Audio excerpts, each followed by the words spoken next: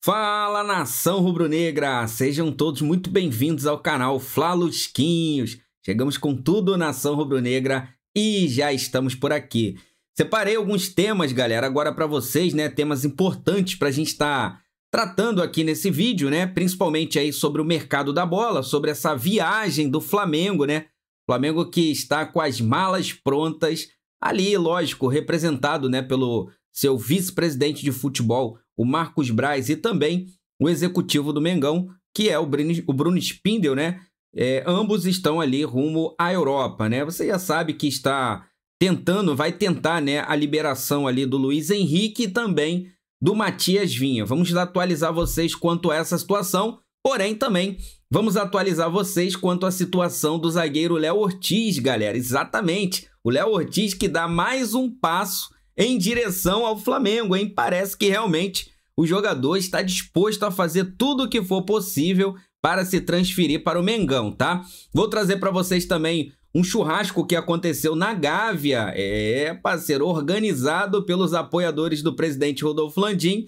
E também, né, vou trazer aí a situação do goleiro Agostinho Rossi, que teve aí uma surpresa. É, vou trazer também essa situação. Mas vamos começar aqui falando, né, sobre essa viagem do, do Flamengo, né, para a Europa. O Flamengo que o Marcos Braz e o Bruno Spindel estão, né, ali rumo à Espanha, tá? Eles vão fazer uma conexão. Vão primeiro descer em Portugal e de Portugal uma conexão ali direto para a Espanha, tá? Onde eles terão ali reuniões marcadas, principalmente com o empresário do Luiz Henrique, tá? O empresário do Luiz Henrique estará esperando o Marcos Braz, tá? É, parceiro. Inclusive, é, segundo informações do GE, a ideia de ir a, a, a, negociar pessoalmente, né? Ali foi do Stefano Castagna, é, que é o empresário do Luiz Henrique, que o Marcos Braz fosse, né? Olhar olho no olho, como eu trouxe para vocês mais cedo.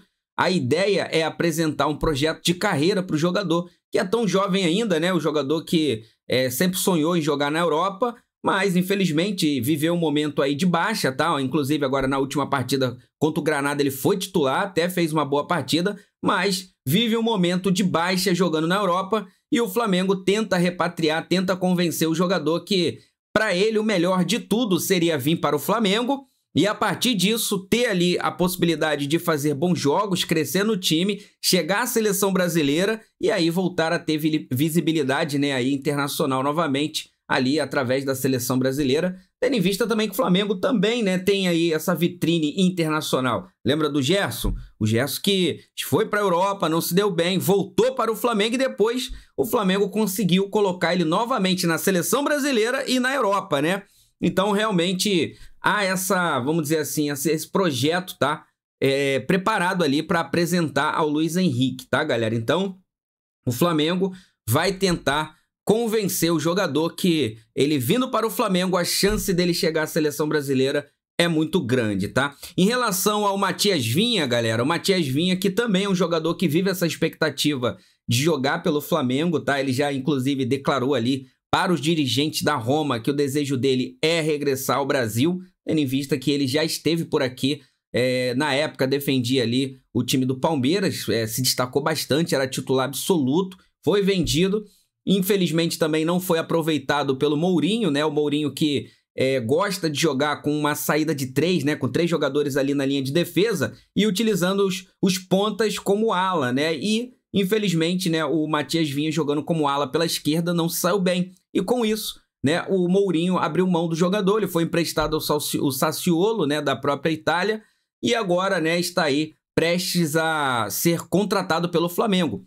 Qual é a situação? A situação hoje, é, inclusive a informação que eu obtive, galera, é que o Flamengo tem uma proposta em mãos, tá? O Marcos Braz vai apresentar essa proposta lá para a diretoria da Roma, tá? E é uma proposta ali com valores consideráveis, ou seja, valores bem próximo daquilo que a Roma topa negociar o jogador. Então a chance desse negócio acontecer, ela é grande. É lógico que é difícil, né? Ali estamos falando de valores altos, mas o Flamengo está com essa proposta e vai apresentar em mãos. É lógico que a Roma vai ter que aceitar também ali, né, a forma de condução de, dessa proposta, né, o parcelamento, né, metas e etc. Mas fala-se que é uma proposta considerável, ou seja, uma proposta que vai fazer com que os dirigentes da Roma balance. Sem contar também que a Roma precisa fazer essa venda, né? Então, tanto Luiz Henrique quanto Matias Vinha, grandes chances, né, de pintarem no Mengão, tá? Vamos aguardar para ver como vai ser essa reunião, olho no olho, mas as possibilidades são gigantescas. Agora falando sobre a saída do goleiro Santos, né? O Santos que é, saiu para o Fortaleza. Havia uma expectativa dele fazer alguns jogos, né, aí no Campeonato Carioca é, e depois se apresentar ao Fortaleza. Pois bem, o Tite né, achou por bem ali é, não utilizar o goleiro, já que ele está de saída, não faria sentido né, manter ele na equipe. E aí, com essa saída, galera, é, o Santos que tinha ali a camisa número 1 um, ficou ali vaga. E o goleiro Agostinho Rossi herdando a, a camisa número 1, um, tá? Então, o goleiro Rossi, a partir de agora, será o novo camisa número 1 um do Mengão. Falando sobre um churrasco que aconteceu neste domingo na Gávea, ali na sede do Remo, essa um churrasco organizado, galera, pelos apoiadores do presidente Rodolfo Landim, contou com várias figuras, inclusive até de ex-presidente, como é o caso da Patrícia Morim, tá? O presidente Rodolfo Landim se fez presente, assim também como o vice é, de futebol do Flamengo, o Rodrigo Dunst também estava lá, e também o Gustavo Oliveira, o vice de marketing, e outras figuras, né? Foram muita gente ali é lógico que esse movimento já é ali um movimento, né, para tentar convencer conselheiros, né, tentar ali convencer e trazer para perto grupos apoiadores, né? Então, é lógico que o presidente Rodolfo Landim já vai fazendo a sua política interna, costurando ali é, as suas alianças, porque ele sabe que as coisas não estão nada boa pro lado dele. É, meu parceiro, as coisas não estão nada boa.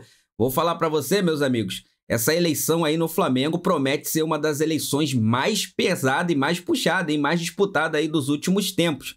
Né? Isso porque o Flamengo é, deu algumas vaciladas, né? A, a, gestão Rodolfo Landim, principalmente ali com multas altíssimas, né? Com treinadores fraquíssimos, né? Um ano pífio, como foi o de 2023 e isso daí abriu brecha para concorrência, né? Então o Landim já vai costurando as suas alianças, fazendo churrasquinho, cafezinho e ali conversa daqui, conversa dali para tentar trazer apoiadores, né, pro seu lado, beleza? Agora falando sobre a questão do Léo Ortiz, galera, é parceiro, parece que o Léo Ortiz vai dando mais um passo aí em direção ao Flamengo. Isso porque o Red Bull Bragantino fez um jogo, né, ali um jogo amistoso, um jogo treino, inclusive publicação ali do meu amigo Bruno Lemos, tá? E o Léo Ortiz não participou, hein, galera? Não participou desse jogo treino, tá? Então, o Léo Ortiz, que já vem treinando alguns dias separadamente, ele não participou do jogo treino. Isso vai ficando claro que o Léo Ortiz tá, vai ficando cada vez mais longe do Red Bull Bragantino. Lembrando que o Red Bull Bragantino vai disputar a pré-Libertadores. Tem um jogo importantíssimo agora em fevereiro e o, o capitão do time, que é o Léo Ortiz, o zagueiro principal, não está treinando com o grupo. Então, isso mostra né, que ele não está mais com foco no Red Bull Bragantino e isso né, tende a fazer ali, tende a forçar a diretoria do Red Bull Bragantino a aceitar a proposta do Flamengo ou vai ficar com o jogador completamente insatisfeito.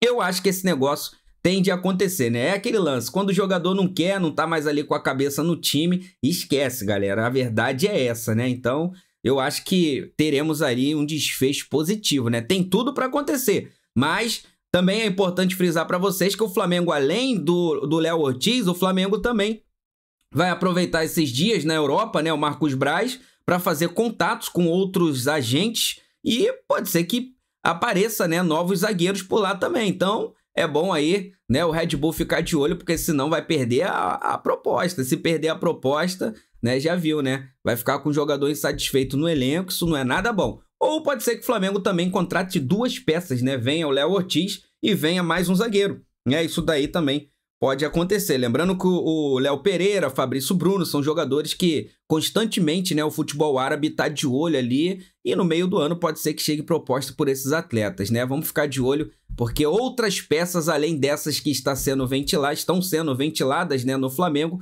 poderá pintar aí nessa viagem, né, do Marcos Braz. E aí, galera, fica a pergunta no ar. Será que eles vão para lá para passear e voltar sem ninguém? Será que eles vão para lá para fazer mochilão e voltar cheio de peças? Ou será que eles foram para lá e vão voltar com mochilinha, né? Então tá aí os três top. O que, que você acha? Ele vai, os caras vão voltar com mochilão? mochilinha ou vão para lá para passear, né? E aproveitar aí a estadia, né? O cartão corporativo. Coloca aí nos comentários, quero saber a sua opinião sobre isso. Galera, então é isso, tá? Essas foram as informações de momento. Lembrando a vocês que daqui a pouquinho eu vou trazer mais novidades aí para vocês, né? É, o Flamengo que joga no dia 17, tá? As viagens ali do Flamengo, né, e para os próximos confrontos também, depois do jogo contra o Nova Iguaçu, serão sempre um dia antes da partida, tá? Então o Flamengo não vai ficar, né, no local, não. Vai um dia antes, aí chega lá, joga e depois, né, regressa novamente. Beleza? Tamo junto, nação rubro-negra. Isso aqui é nossa paixão, isso aqui é nosso amor. Fui, nação!